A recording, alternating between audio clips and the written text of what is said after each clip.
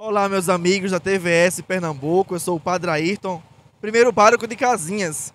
E estamos aqui com o EJC realizando mais uma ação em prol do nosso, da implantação do nosso primeiro EJC, que acontecerá nos dias 14, 15 e 16 de julho.